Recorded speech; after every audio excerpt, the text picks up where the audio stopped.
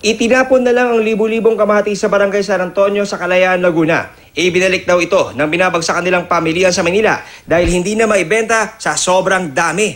Ang iba nga, napisa at nabulok na lang matapos itambak sa lupa. Napapatapon na, binabalik na ng truck. Dahil po sa dami Sa siguro. dami. Problemado tuloy ang mga magsasaka. Lugi ho ang mga magsasaka ho dito sa amin. May pakikinabangan dyan ay hindi na halos lahat, hindi na nabibili dahil sa ang dami ng kamatis. Wala naman silang magawa kundi ibenta ito ng 5 piso lang kada kilo o mas mura pa para kahit paano makabawi sa kanilang puhunan.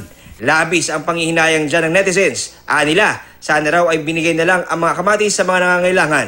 May iba rin naman daw alternatibong pwedeng gawin sa mga ito kaysa itapon. Sabi ng Department of Agriculture, imbes kamatis, tuturuan na lang nila ang mga magsasaka na magtanim ng iba pang klase ng gulay. Tutulong din daw ang ahensya para mapadala ang sobra-sobrang kamatis mula sa Laguna papunta sa Taguig kung saan ito mabebenta. Nangako din ang lokal na pamahalaan ng Kalayaan sa Laguna na magpapaabot sila ng ayuda sa mga apektadong magsasaka. Ang inyo pong lingkod ay hindi titigil para hindi kayo bigyan ng ayuda.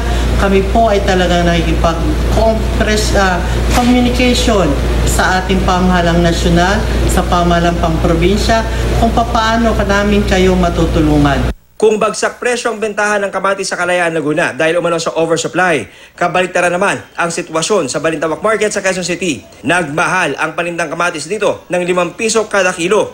Git ng mga nagtitinda, di raw talaga stable ang presyo ng kamatis. Depende kasi ito sa delivery ng dumarating sa kanila na mula pa raw sa Nueva Vizcaya. John Consulta, GMA News.